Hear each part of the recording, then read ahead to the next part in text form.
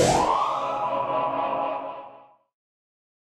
Matagumpay na nailigtas ng Special Weapon and Tactics o SWAT team ng Makati PNP ang apat na kababaihan matapos na i-hostage ng isang problemadong lalaki na taga Pilar, Sursugun. Kinilala ni Makati PNP Deputy Director Superintendent Angelo Germinal ang suspect na si Ruben Anzaras, 40 years old, alias Boyet, habang kinilala lamang sa pangalan Joyce, Aiza, Jocelyn at Beverly na nagdadalang tao na pawang mga nagtatrabaho sa call center at natinirahan sa isang apartment sa Imelda Bridge, Calayan, San Avenue, Guadalupe, Makati ang mga biktima. Ayon kay Superintendent Germinal, bandang alas 9 kagabi, bigla na lamang pumasok ang suspect sa bahay ng mga biktima na may dalang kitchen knife at screwdriver at hinostage ang apat na kababaihan.